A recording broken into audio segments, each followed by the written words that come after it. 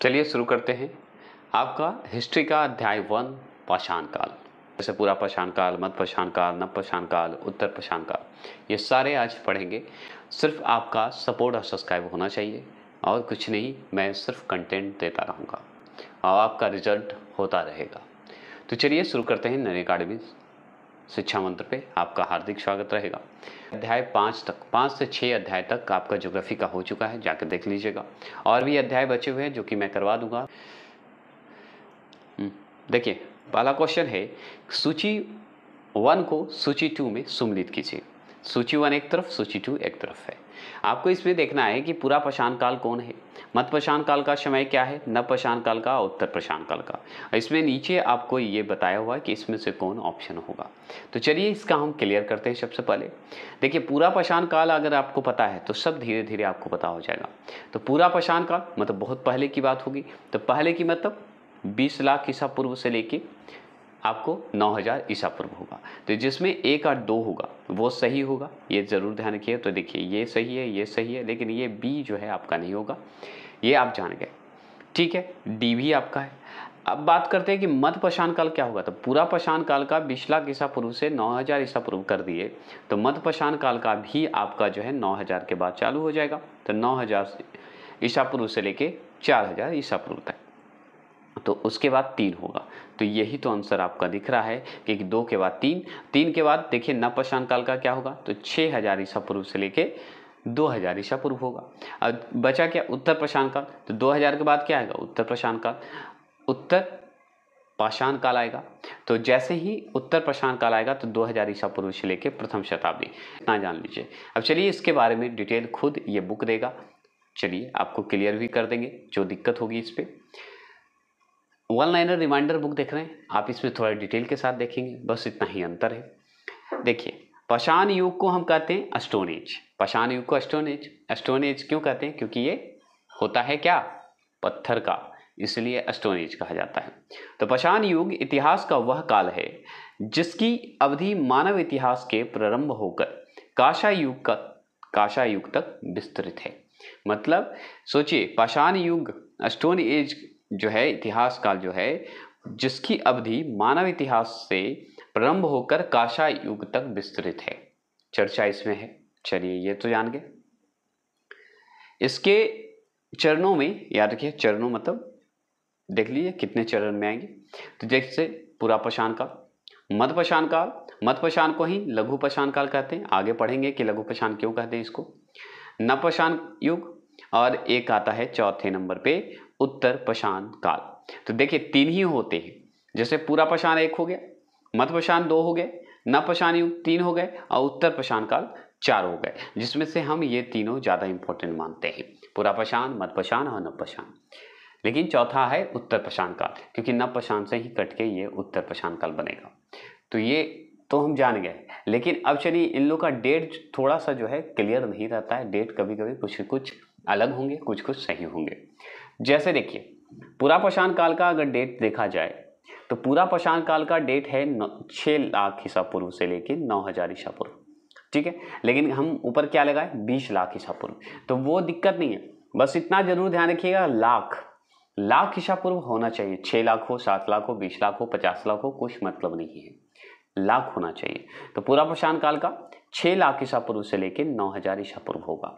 ये क्लियर हो गए। मध्यपशान काल का भी देख रहे थे। मध्यपशान काल को ही लघु पशान काल कहते हैं, जिसे लघु पशान इसलिए कहते हैं, सुन लीजिए, बता देते हैं, कि छोटे छोटे औज़ार बनाए जाते थे, इसलिए लघु पशान कहा जाता था। ठीक है? लघु लघु पशान हो या मध्यपशान काल का काल का अगर डेट पूछे तो 9000 ईसा पूर्व से लेके 4000 ईसा पूर्व तक बता दीजिएगा। अब 4000 ईसा पूर्व तो हम जान गए, लेकिन नवपषाण युग का बात करते हैं तो देखिए 9000 से 4000 ईसा पूर्व तो मतपषाण काल है। उसी समय नवपषाण काल धीरे धीरे तो परिवर्तन होता है ना। तो छः ईसा पूर्व से लेके 2000 ईसा पूर्व के लमसम में नवपषाण काल युग रहा था।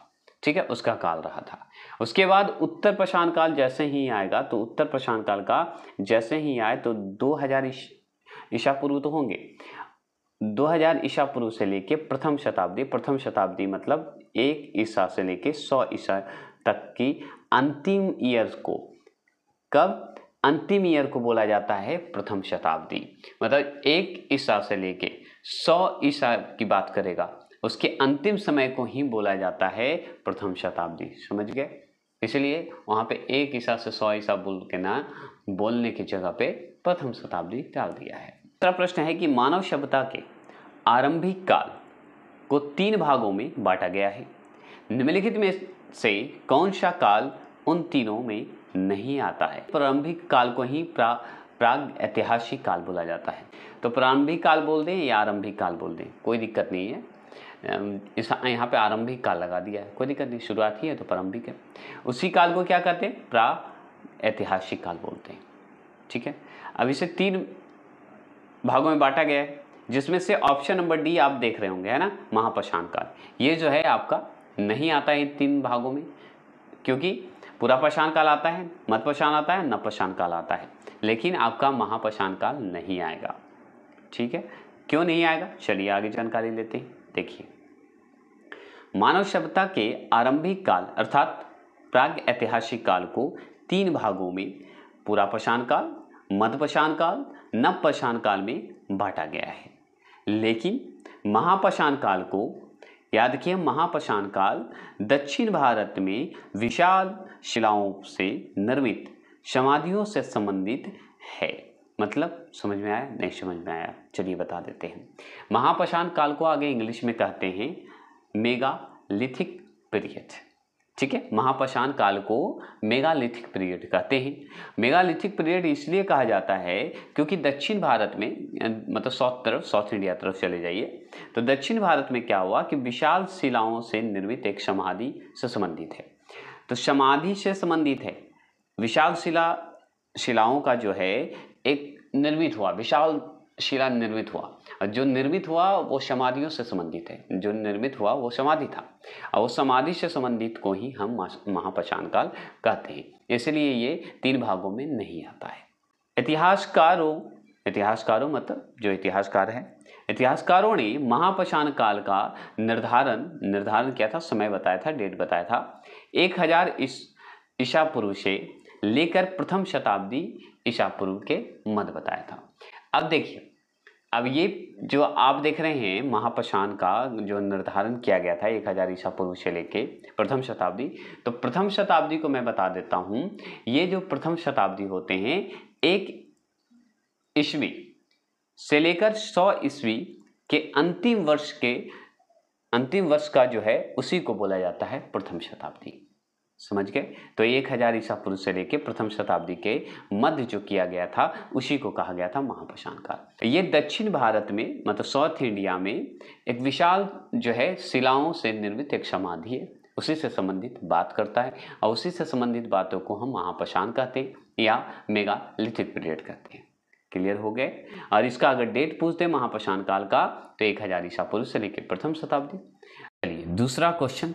मतलब तीसरा क्वेश्चन सॉरी दूसरा क्वेश्चन तो हो चुके तीसरा तीसरा क्वेश्चन है कि निम्नलिखित पर विचार कीजिए। अब निम्नलिखित पर विचार करने के लिए हमको तीन ऑप्शन और देखने होंगे। जैसे पूरा पशान काल तो पूरा पशान काल को इंग्लिश में कहा जाता है, क्या बोलते हैं? पैलियो लिथिक एज कहते हैं। लिथिक कहेंगे पैलियो मतलब पुराना पैलियोलिथिक अब चलिए दो और देख लेते हैं। मतपशान काल को मध्यपशान काल को मेशोलिथिक एज कहते हैं। नवपशान काल को लिथिक एज कहते हैं। लेकिन सवाल क्या था? अब देख लीजिए, बता देते हैं। सवाल क्या था? निम्नलिखित पर विचार कीजिए मैंने विचार कर लिया। विचार किया तो इसका आंसर यहाँ पे देखिए क्वेश्चन इसका समझिएगा क्या कहना चाह रहा था कि उपरोक्त में से किस या किन काल के औजारों को माइक्रोलिथ माइक्रोलिथ मतलब लघु पशान कहते हैं? तो किसे कहते हैं? तो आगे तो एक क्वेश्चन समझ जाइए कि लघु पहचान किसे कहा जाता है? माइक्रोलिथ को। माइक्रोलिथ का ही नाम है लघु पहचान।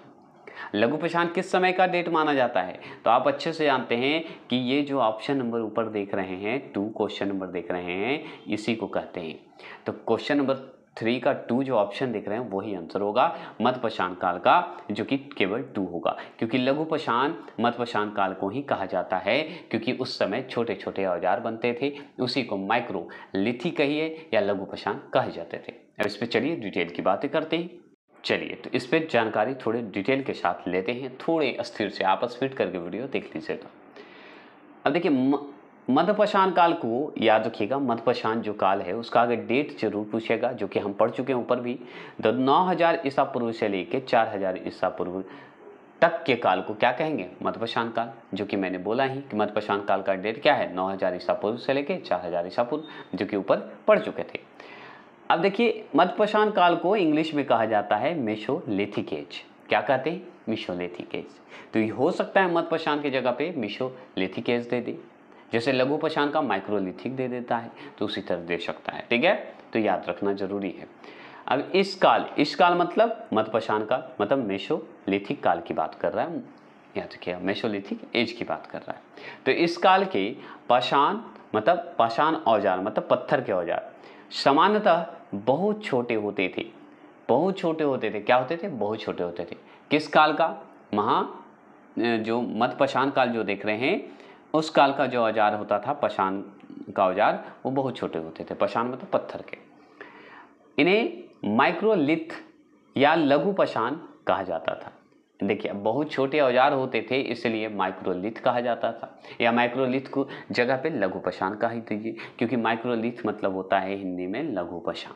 बस इतना ध्यान दीजिएगा, लघु मैंने छोटा और माइक्रो मैंने भी छोटा, सूक्ष्म, है ना?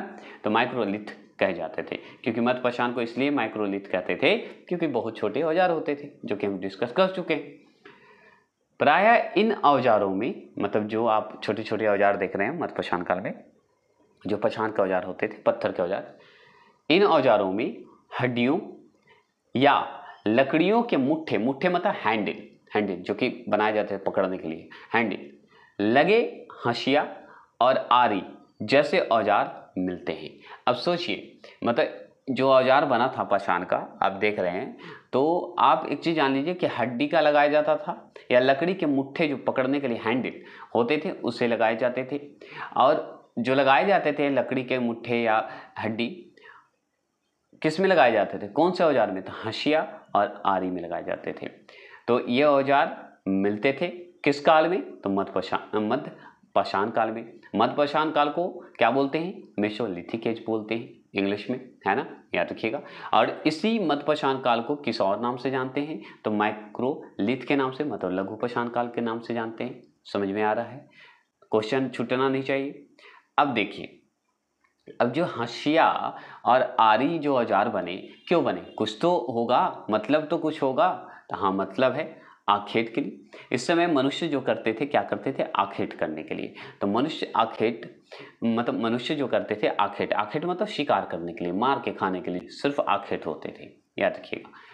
एवं पशुपालक यह हंसिया आरे का इस्तेमाल जो है, आखेट के लिए होता था। शिकार करने के लिए, अपने बचाव के लिए भी करते थे। और उस समय जो ये मतपशान काल का जो समय था, उस समय पशुपालक भी बन गए थे, मतपशान के लोग। ठीक है? मध्यवशान काल की जानकारी सर्वप्रथम। अब देखिए, इस पर थोड़ी जानकारी ले लीजिए कि भाई ये पूछता है कि आखेट करने के लिए जो औज़ार बनाते थे या पशुपालक जो बन गए थे मध्यपशान काल के लोग, ये मध्यपशान की जानकारी कौन दिया? कोई तो होगा, बताया होगा कि मध्यपशान काल है नपशान काल है, इस तरह का कोई तो बताया। तो हाँ बताए हैं। तो मध्यपशान काल की जानकारी सर्वप्रथम सन अठारह सौ सड़सठ मतलब 1867 1867 में कौन दिए थे? C L. क्या नाम है इनका? C L. क्या नाम है? कलाइल। कलाइल द्वारा दिया गया था। किनके द्वारा? कलाइल द्वारा। कब दिया गया? एटीन सिक्सटी सेवन में। मतलब अठारह सौ सड़सठ में। किसकी जानकारी दी गई? कलाई द्वारा। तो मध्यपशान काल की जानकारी दी गई। ठीक है। मध्यपशान काल की जानकारी जो दी गई, अब ये जो है, कलाइल द्वारा जो दिया गया वो किस क्षेत्र से संबंधित होगा? कहाँ दिए होंगे? कहीं तो खोजे होंगे? हाँ खोजे श्रीलंका के क्षेत्र में। अब श्रीलंका क्षेत्र में, श्रीलंका क्षेत्र के कौन से जगह पे? तो हम बताएँगे सीहन पे। तो सीहन जो क्षेत्र था, जो कि श्रीलंका में पड़ता था, उस जगह ये करण ही मिला था। इसलिए मध्यपशान काल को लघु पशान काल भी कहा जाता है। बस इतना ही जानकारी है। ज़्यादा जानकारी आपको इसमें नहीं मिलेगा। बस इसमें सवाल क्या बनेगा कि कब खोजा गया? मध्यप्रशांत काल को। तो एटीन सिक्सटी सेवन में। कौन खोजे? तो कलाइल खोजे। कहाँ स्थान है जहाँ खोजा गया था सबसे पहले कलाइल द्वारा? तो श्रीलंका के सिंहल क्षेत्र में खोजा गया था। और उस समय क्या हुआ था? लघु पशान मिला था, इसलिए मध्य मध्य जो पशान को हम लोग लघु पशान के रूप में जानते हैं। चलिए इस सवाल को देखिएगा, चौथे क्वेश्चन को देखेंगे और बहुत अच्छे से समझेंगे। चौथा क्वेश्चन है, ध्यान से सुनिएगा। अगर थोड़ा सा मिस्टेक हुआ, सब गड़बड़ हुआ। ये तो आंसर आप देख लीजिएगा तो अलग बात है, लेकिन ऐसे सोचिए। सबसे पहले, मानव जो है मानव, सदृश प्राणी, मानव जो है सदृश प्राणी, जो प्रक मानव से प्रजाति रूप से भिन्न था। देखिए, मानव सदृश प्राणी जो है, मानव जो सदृश प्राणी है, जो प्रक मानव प्रक मानव मतलब उस समय की बात हो रही है। प्रक मानव से प्रजाति रूप से भिन्न था, प्रजाति रूप से भिन्न नहीं था, ठीक है? जो समानतः जाना जाता है तो समानतः जाना जाता है, किस रूप में जाना जाता है? तो देखिए, अगर होमी नीड है है तो ये गलत हो गया। होमी और भी रहता तो हम लगा देते। लेकिन यहाँ पे आंसर होगा ऑप्शन नंबर बी, क्योंकि ये भिन्न था, कैसे भिन्न था, यही सवाल पूछ रहा है समानता कैसे जाना जाता है तो हम जानते हैं इसलिए हैं, क्योंकि इसे पिथे कैंथ्रोपस के रूप में जानते हैं, याद रखिएगा। तो प्राक मानव का जो है प्रजाति भिन्न रूप मतलब प्रजाति जो है रूप से भिन्न था तो उसे हम किस रूप में जानते हैं तो पिथे कैंथ्रोपस के रूप में जाने जाते हैं। क्लियर हो गए कोई दिक्कत नहीं, चलिए आगे जानकारी लेते हैं। एक दशमलव सात मिलियन वर्ष पूर्व विश्व के अनेक भागों में अधिक विकसित मानव जाति का आविर्भाव हुआ। मतलब विकसित मानव जाति मतलब विकसित जो मानव जाति हो रहे थे, डेवलप जो हो रहे थे मानव जाति का आविर्भाव हुआ। आविर्भाव मतलब जानकारी भी मिलते हैं, उससे पता भी किया जाता है तो आविर्भाव हुआ। इसे हम पता है, दो रूप में कह सकते हैं। किस रूप में? दो रूप में हम बता सकते हैं, जैसे कि या हम इसे पिंथे कैंथ्रोपस बोलेंगे, या होमो इरेक्टस कहते हैं। कि पीथे कैंथ्रोपस और होमो इरेक्टस जो थे वो क्यों कहा जाता था मानव जाति को? क्यों इससे संबंधित है? क्योंकि उस समय जो है, आप याद रखिएगा, सीधे चलने वाले मानव थे। सीधे कपिल चलने वाले मानव थे, इसलिए उन्हें पीथे कैंथ्रोपस या होमो इरेक्टस कहे जाते थे। और ये जो होमो इरेक्टस देख रहे हैं, और पीथे पीथे कैंथ्रोपस देख रहे हैं, ये मानव जाति की एक पहचान कहिए, इसी की प्रजाति कहिए, जो कि है। समझ गए? कोई दिक्कत नहीं। चलिए, चलते पांचवा प्रश्न। पांचवा प्रश्न को आगे ध्यान में रखेंगे कि भीम बेटका किसके लिए प्रसिद्ध है? तो भीम बेटका बहुत इंपॉर्टेंट है, बताइएगा। बताएँगे?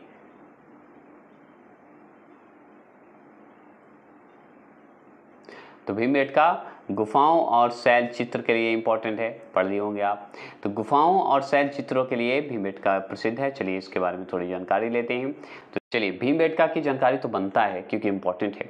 तो भीमबेटका को आज पढ़ लीजिए कि जीवन में भूलना मना हो जाएगा। आप सीटेट की तैयारी करते हो, या स्टेट की तैयारी करते हो, या कोई भी टीचर की तैयारी करते हो, या कोई भी रेलवे की तैयारी। भीमबेटका से सवाल तो पूछता ही है, यार, रेलवे वाले क्यों ना कर रहा हूँ? तो रेलवे वाले भी कर रहे हो या कोई भी कर रहे हो, पढ़ना तो ज़रूरी है। चलिए, इसे थोड़े फन करते हैं और मस्ती के साथ पढ़ते हैं। तो भीमबेटका की बात करते हैं। तो भीमबेटका जो है, गुफाओं की प्राग ऐतिहासिक काल की चित्रकारियों के लिए लोकप्रिय है।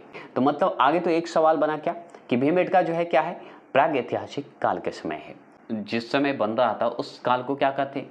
प्राग ऐतिहासिक काल कहेंगे। बस यही तो सवाल बनता है। ठीक है, आप ये जान के मान लिए मैंने। आपसे और सवाल क्या पूछेगा?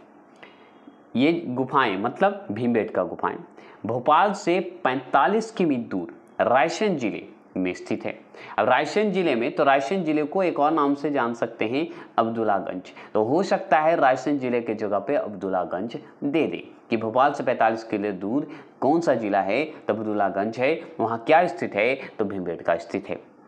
ठीक है, लेकिन रायसेन जिला पूछ रहा है तो रायसेन जिला भी याद रखिएगा, अब्दुल्लागंज भी याद रखेंगे। कुछ भी दोनों नाम से होते हैं अब भोपाल कहाँ है? एमपी में। तो भीमबेटका में। भीमबेटका कहाँ है? तो मध्य प्रदेश में। मध्य प्रदेश में? मध्य प्रदेश कहाँ मध्य प्रदेश के कौन से क्षेत्र में? तो भोपाल से 45 किमी दूर जाइएगा ना तो एक जिला मिलेगा, रायसेन जिला। वहाँ स्थित आपको भीमबेटका मिलेगा। चलिए ठीक है, ये जान गए। अब भीमबेटका की बात करते हैं तो भीमबेटका की खोज तो कोई किया होगा? तो भीमबेटका की खोज जो है, हुआ था 1957 से 1950 ईस्वी में हुआ था। तो कब खोज की गई? उन्नीस सौ सत्तावन से लेकर अंठावन में की गई थी। अब खोजने वाले का नाम भी तो होगा तो भीमबेटका का खोज करने वाले का नाम है डॉक्टर विष्णु श्रीधर वाक नंकर नाम है, ठीक है? वाक नंकर जी हैं। तो डॉक्टर विष्णु श्रीधर वाक नंकर द्वारा की गई है। कब? तो याद रखेंगे भीम बेटका की खोज जो की गई थी 1957 से 1958 में की गई थी। यही सवाल आपसे पूछ रहा था, ठीक है? श्रीधर जी द्वारा खोजा गया बानकर द्वारा खोजा गया। गुफाओं में प्राकृतिक, अब गुफाओं में जो आप भीमबेटका गुफा जाइएगा तो उसमें लाल एवं सफ़ेद रंगों के जो वन्य प्राणी, प्राणियों के शिकार दृश्य दिखेंगे आपको। क्या दिखेंगे? वन प्राणियों के शिकार जो शिकार करते थे, उसके चित्र बनाते थे। और चित्र कैसे बनाते थे? तो लाल और सफ़ेद रंगों के चित्र बनाते थे, भीमबेटका में, गुफाओं में। उसके अलावा हाथी और बाघ का भी चित्र आपको वहाँ दिखने को मिलेगा। कहाँ? उकेरे गए हैं। चित्र उकेरे गए मतलब बनाए गए हैं। तो कहाँ? भीमबेटका के गुफाओं में। क्लियर हो गए? ठीक है। शिकार करते थे, उसका भी चित्र बनाते थे। हाथी और बाघ का भी चित्र बनाते थे और लाल और सफ़ेद रंग से बनाते थे। ये भी ध्यान रखिएगा। समझ गए? अब लगभग बात करते हैं। तो लगभग एक किमी चौड़ी तथा डेढ़ सौ मी ऊँची भीमबेटका की सात सौ चौवन सेवन हंड्रेड फिफ्टी फोर गुफाओं के लगभग 500 चित्र अंकित हैं। कितने चित्र अंकित हैं? 500 चित्र। अब सोचिए मतलब भीमबेटका में, याद रखिएगा, कितने गुफाएँ हैं? तो सात सौ चौवन गुफाएँ आगे उसकी लंबाई और चौड़ाई याद रखिए तो लंबाई चौड़ाई तो नहीं है, चौड़ाई ऊंचाई है तो एक की भी चौड़ाई है, बस एक ही की भी चौड़ाई है, और डेढ़ सौ मी ऊँची है। सोच लीजिए। ठीक है? और उसमें कितना है गुफाएँ? तो सात सौ चौवन मतलब सेवन फिफ्टी फोर जो है गुफाएँ हैं।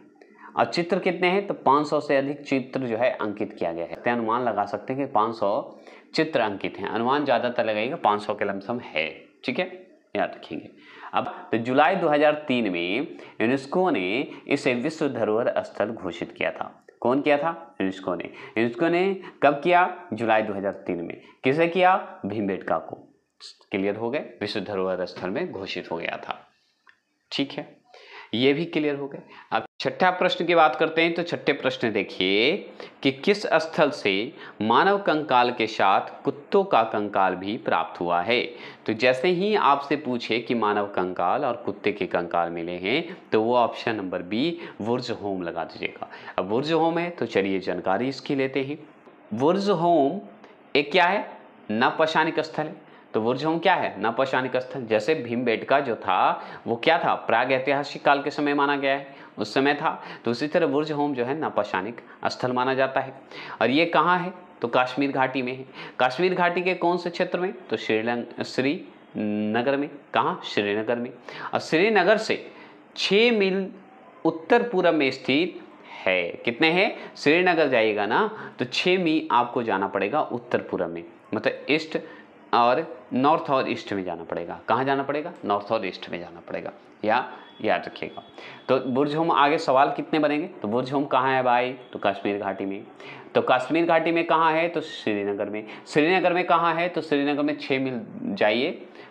घूमते घूमते जाइए और उत्तर में स्थित है आपको। ठीक है? और ये किस काल की बात करता है? कुछ किस समय की बात करता है? तो नव काल का स्थित माना जाता है। मतलब उसी समय का स्थल माना जाता है। बुर्झों चलिए, ये क्लियर हो गए।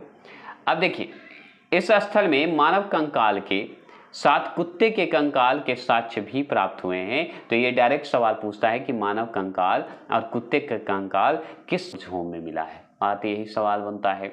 आगे पूछेगा कि स्थानीय भाषा में वुर्ज होम को, स्थानीय भाषा में जानते हैं? वुर्ज होम को क्या बोला जाता है? प्लेस ऑफ़ विर्च क्या बोलते हैं? प्लेस ऑफ़ विर्च बोला जाता है। प्लेस प्लेस ऑफ़ विर्च कहा जाता है, ये जान गए। अब देखिए, बात करते हैं कि बुर्जों की खोज तो कोई किया होगा तो हाँ किए हैं। 1935 में खोज की गई है बुर्जों की। कौन किए थे? तो पता है, डी टेरा और पीटरसन ने। तो डी टेरा और पीटरसन ने मिलकर 1935 में बुर्जों की खोज की। ठीक है, ये भी याद हो गया होगा। अब देखिए, गर्तावास गर्तावास जिसे पीठ बोलते हैं गर्तावास इस स्थल की प्रमुख विशेषता है। यहाँ के लोग कृषि से परिचित थे। ये भी जान लीजिए, इससे अनुमान भी लगाया गया था, ठीक है? और ये याद रखिए, गर्तावास, पिच जो है, याद रखिए पित्त बोलते हैं सॉरी पिच बोलता पित्त इस स्थल की प्रमुख विशेषता थी कहाँ की बुर्जहोम की। और इसकी खोज कब हुई? 1935 में। कौन किए? तो डी टेरा और पीटरसन मिलकर किए थे। बुर्जहोम कहाँ है? तो कश्मीर घाटी में। कश्मीर घाटी के कौन? मतलब कश्मीर घाटी के में कहाँ? श्रीनगर में। और श्रीनगर से छः मील दूर जाइए, उत्तर पूर्व में मिलेगा। बत खत्म। यही पूछता है। चले आगे। चलिए, सातवां प्रश्न का जवाब देंगे। नवदा टोली का उत्खनन किसने किया था? तो नवदा टोली का उत्खनन की बात करेंगे तो option number C H D याद रखिए एच डी शांकलिया ने किए थे। कौन किए थे? एच डी शांकलिया ने किए थे। तो ये सवाल पूछता है कि नवदा टोली का उत्खनन की बात करेगा तो कौन किए थे? तो एच डी शांकलिया किए थे। ठीक है, आगे चलिए, इस पर डिस्कस करते हैं, थोड़ी जानकारी लेते हैं और फन के साथ लेते हैं। कोशिश करता हूँ कि आप समझिए। अच्छा लगे तो प्लीज़ सब्सक्राइब लाइक करना ना भूलेंगे। क्योंकि आप हैं, तभी हम हैं ये हमेशा याद रखिएगा। तो चलिए नवदा टोली की बात करें तो नवदा टोली जो है इंदौर से दक्षिण की ओर 60 मी की दूरी पर स्थित है। और दूरी पर स्थित है तो मालवा संस्कृति से संबंधित है। किससे संबंधित है? मालवा संस्कृति से संबंधित है। तो जैसे ही नवदा टोली की बात आएगा तो नवदा टोली जो था इंदौर में है। इंदौर में है। नवदा टोली कहाँ है? इंदौर में। इंदौर कहाँ पड़ता है? मध्य प्रदेश में। पड़ता है ना? पड़ता होगा पड़ता ही है। तो नवदा टोली जो है, आपको इंदौर जाइए। इंदौर से, इंदौर तो गए, इंदौर से आपको दक्षिण की ओर जाना पड़ेगा। दक्षिण की ओर कितना जाना पड़ेगा? साठ मी जाना पड़ेगा। और साठ मी की दूरी जब पहुंचिएगा, जब वहाँ पे जाके स्थित होइएगा तो वहाँ पे क्या है? किससे संबंधित संस्कृति है? तो मालवा संस्कृति से संबंधित है। तो मालवा संस्कृति से संबंधित है। अब सोचिए अब नवदा टोली जाइए। नवदा टोली जाने से पहले हमको इंदौर जाना पड़ेगा। इंदौर के दक्षिण की ओर जाना पड़ेगा। दक्षिण की ओर जाके साठ मी की दूरी पर स्थित है नमदा टोली। अब यहाँ पहुँच के यहाँ पहुँचेंगे तो हम जानेंगे भाई किससे संबंधित है? तो मालवा संस्कृति से संबंधित है। चलिए ये भी जान गए। अब मालवा संस्कृति से संबंधित है तो डेट तो होगा। डेट होगा ना? तो हाँ डेट है। तो डेट है 1700 से लेके 1200 ईसा पूर्व की बात करता है। तो नवदा टोली का अगर समय पूछे तो हम बताएँगे 1700 से 1200 ईसा पूर्व बता देंगे। अब इससे जो 12 जो आप पढ़ रहे हैं 1700 से 1200 ईसा पूर्व, उस समय ताम्र पाषाण कालिक स्थल माना जाता है। क्या माना जाता है? ताम्र पाषाणी काल। जैसे आप दो पढ़े भीमबेटका पढ़ लिए, भीमबेटका को प्राग प्राग ऐतिहासिक काल में रखा गया है, बुर्ज होम को नव पाषाण नव पाषाणिक स्थल में रखा गया है तो उसी तरह नवदा टोली को रखा गया है, ताम्र पाषाणिक स्थल में।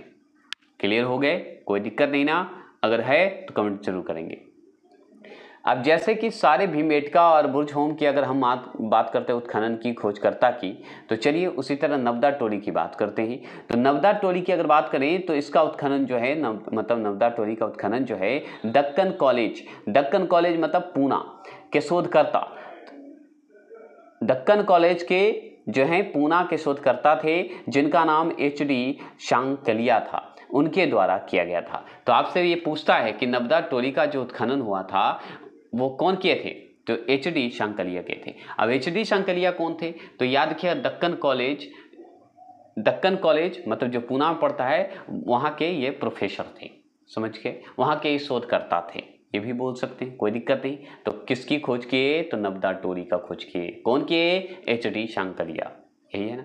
अब देखिए नवदा टोली की बात करें तो यहाँ से नवदा टोली से यहाँ से मुख्य फ़सलों मतलब मुख्य फ़सलों मतलब मुख्य फ़सलें, गेहूँ, अलसी और मशहूर ये जो गेहूँ, अलसी और मशहूर के जो हैं, साक्ष्य प्राप्त हुए हैं तो कहाँ से हुए हैं? नवदा टोली से हुए।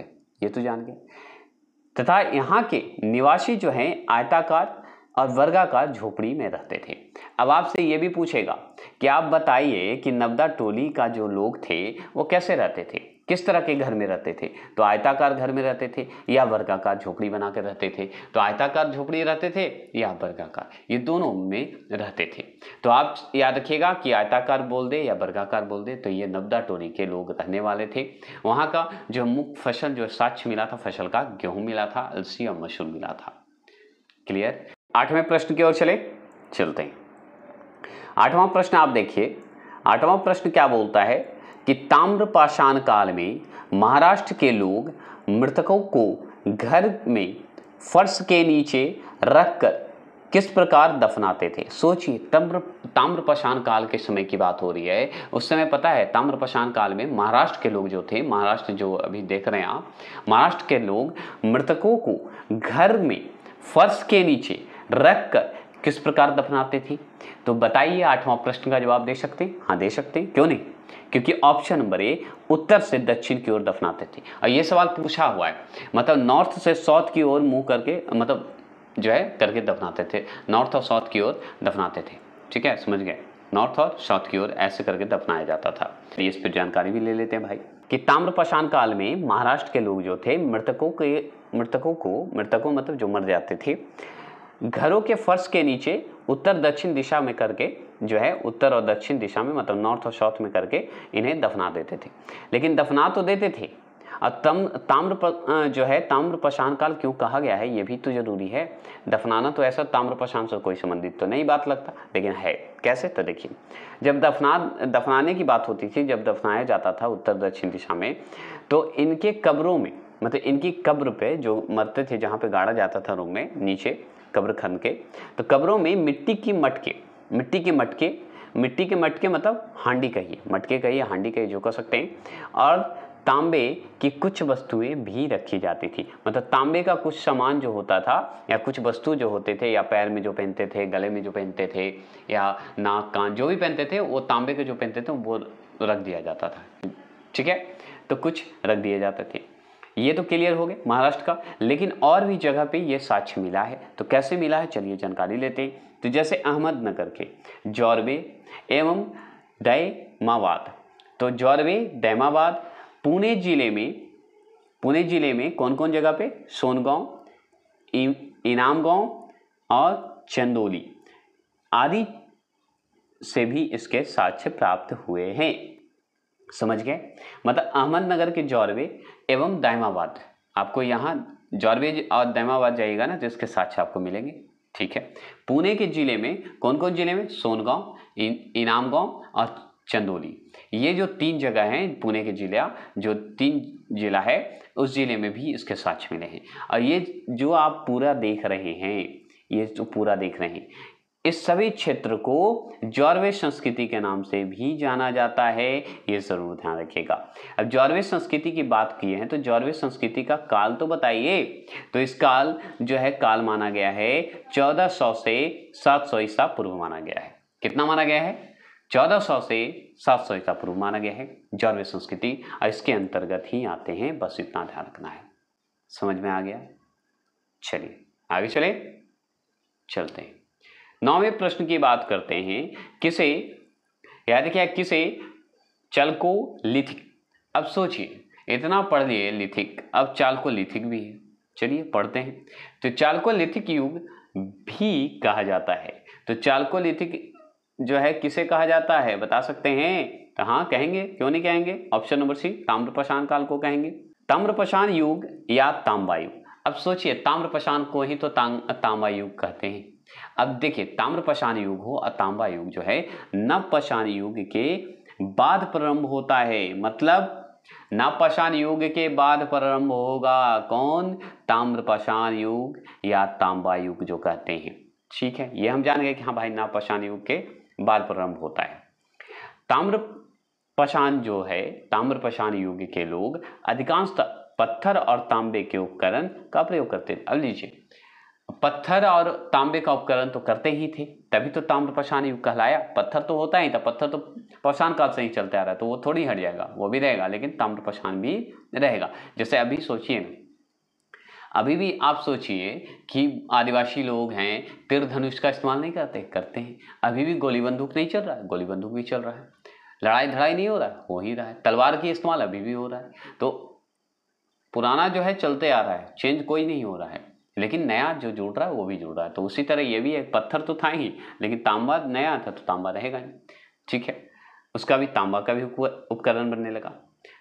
चलिए, इसे चालकोलिथिक युग एज भी कहा जाता है। तो ताम्र पाषाण काल को किस नाम से जाना जाता है? एक और नाम क्या है? तो बताइएगा, चालकोलिथिक युग बताएँगे। क्या बताएँगे? चालकोलिथिक एज बता देंगे। किसे बोला जाता है? ताम्र पाषाण युग को। और किसे? तो तांबा युग को भी बोला जाता है। ताम्र पाषाण तांबा युग एक ही है, ठीक है? जिसे चालकोलिथिक बोलते हैं। जैसे कि माइक्रोलिथिक को जो है, माइक्रोलिथिक को लघु पशान बोलते हैं। लघु पशान का, जो कि मध्य पशान से संबंधित है। उसी तरह ये ही तो है तांबा युग है ना? जो कि चालकोलिथिक युग बोलते हैं। अब देखिए, ताम्र पशान युग की बात करें तो इस काल की प्रमुख संस्कृति जो थी, वो मालवा संस्कृति थी, जो कि हम आठवें जो है, क्वेश्चन में पढ़ चुके थे। मालवा से संबंधित तो होगा ही ना? ठीक है, हम जानेंगे मालवा संस्कृति से। मालवा संस्कृति तो थे ही एक और था जो कि जौरवे संस्कृति से संबंधित था, जो कि आप समझ गए। तो देखिए, मालवा संस्कृति और आपका जौरवे संस्कृति, ये दोनों से संबंधित था आपका ताम्र युग। दसवां प्रश्न को ध्यान से देखेंगे, ठीक है? दसवां प्रश्न क्या है कि गौरिक गौरिक मृत भांड पात्र का नामकरण हुआ था। तो नामकरण हुआ था तो आपको ये जो गौरी जो देख रहे हैं मृत भांड देख रहे हैं, उसका शॉर्ट फॉर्म में अगर देखा जाए ब्रैकेट में लिखा हुआ सी पी ओ ठीक है? आगे इस पर डिटेल हम बात करेंगे बाद में।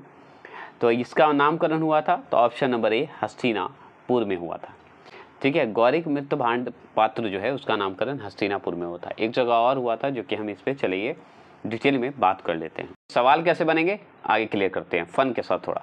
गौरिक मृतभांड संस्कृति का ईयर्स अगर आपसे पूछे तो बताएँगे 2000 ईसा पूर्व से लेके पंद्रह पंद्रह सौ ईसा पूर्व बता देंगे। इसका नामकरण कहाँ हुआ था? हस्तिनापुर में हुआ था। एक जगह और नामकरण हुआ है तो कहाँ हुआ है? तो अंतरजी खेड़ा में। तो हस्तिनापुर और अंतरजी खेड़ा आएगा तो हम बताएँगे गौरिक मृतभांड संस्कृति जो मृतभांड है, उसका नामकरण हुआ था। ठीक है? क्लियर अब ये जो आप हस्तिनापुर अंतर जी खेड़ा में जो नामकरण हुआ, ये वर्तमान में है कहाँ तो याद रखिएगा, हरियाणा और राजस्थान। हरियाणा और राजस्थान की सीमा पर स्थित है। ये भी सवाल आता है। अब आपसे ये भी पूछ सकता है कि जो हरियाणा और राजस्थान की सीमा पर स्थित है तो जोधपुर में है। और जोधपुर में जो है गौरी मृत भांड का सबसे मोटा जमाव देखने को मिला है, देखा गया है। ठीक है, कहाँ मिला है? जोधपुर में। जोधपुर में गौरिक मृत भांड का सबसे मोटा जमा मिला है। अगर सीमा पूछेगा तो हरियाणा और राजस्थान की सीमा बता दीजिएगा। अगर स्थान पूछेगा तो जोधपुर बता दीजिएगा। जोधपुर के गौरिक मृत भांड का एक सबसे मोटा जमाव मिला है। ये भी है। यहाँ से यहाँ से मतलब कहाँ से? गौरिक मृत भांड से, ठीक है? काले व लाल मृत भांड का प्रयोग करने वाले लोगों की बस्तियों के अस्तित्व का पता चलता है। मतलब हरियाणा और राजस्थान के सीमा पर जो मृतभांड मिले हैं, गौरिक मृतभांड मिले हैं, जो कि सबसे मोटा जमा मिला है, वहाँ पे क्या हुआ कि काले व लाल मृतभांड का प्रयोग किया गया है। काले और लाल मृतभांड का प्रयोग किया गया है। उससे ये पता चलता है कि बस्तियों के लोग का अस्तित्व का पता चलता है, कि यहाँ पे बस्ती बसा हुआ था, उसका पता चलता है। ये क्लियर हो गया। अब चलिए ग्यारहवा प्रश्न की बात करते हैं। ग्यारहवा प्रश्न है कि उस स्थल का नाम बताएँ जो वर्तमान में बलूचिस्तान में स्थित है। अब देखिए, उस स्थल का नाम बताइए जो बलूचिस्तान चला गया है। तो वो है ऑप्शन नंबर सी, मेहरगढ़। और भी भी आई प्रश्न है, सीटेड वाले भी अगर देना चाहते हैं तो दे सकते हैं, क्योंकि क्वेश्चन इसी से बनता है। तो मेहरगढ़। तो बलूचिस्तान में चला गया है कौन? मेहरगढ़। बुर्ज, होम तो आप जान ही गए हैं। कहाँ है भाई? तो आप जानते हैं कश्मीर में, जो कि हम पढ़ चुके हैं। अब चलिए इसका आंसर तो आप सी लगा दिए। अब चलिए इसके बारे में पढ़ते हैं मेहरगढ़ के बारे में। तो मेहरगढ़ वर्तमान में बलूचिस्तान मतलब पाकिस्तान में बेलन नदी के किनारे स्थित है। कि मेहरगढ़ जो आप पढ़े कि वर्तमान में कहाँ है? बलूचिस्तान में। बलूचिस्तान कहाँ है? पाकिस्तान में याद रखिएगा। और कौन सी नदी पे है? तो बेलन नदी के किनारे है, स्थित है। तो मेहरगढ़ तो आप जान गए, जो कि आपको बलूचिस्तान चला गया बलूचिस्तान बोलते हैं, बलूचिस्तान बोला जाता है ऐसे पाकिस्तान में है। और ये मेहरगढ़ की अगर बात करें तो नवपाषाण काल से लेकर, पता है, हड़प्पा काल तक की संस्कृति, इतिहास का अवशेष मिलता है मेहरगढ़ से ही। कहाँ से मिलता है? मेहरगढ़ से ही। समझ गया? हड़प्पा काल का भी अवशेष मिलेगा आपको। नवपाषाण तो अलग बात है, हड़प्पा काल का भी मिलेगा। मेहरगढ़ से क्या हुआ है? मेहरगढ़ से कृषि कार्य के साथ साथ तांबे गलाए जाने का साक्ष्य मिला है। समझ गए? ये पूछता है भी आई क्वेश्चन कृषि कार्य कहाँ हुआ है तो मेहरगढ़ से संबंधित है। तांबे गलाने का जो है साक्ष्य कहाँ मिला है तो मेहरगढ़ से है। लीजिए। तो ये हो गए पाषाण काल खत्म, स्टोन एज खत्म हो गए। नेक्स्ट टॉपिक आएगा आपका वैदिक सभ्यता, जिसमें वो भी ट्वेंटी वन क्वेश्चन नंबर है। तो चलिए, आज के लिए इतना ही रखते हैं। जय हिंद, जय भारत। अच्छा लगे तो प्लीज़ सब्सक्राइब लाइक करना ना भूलेंगे।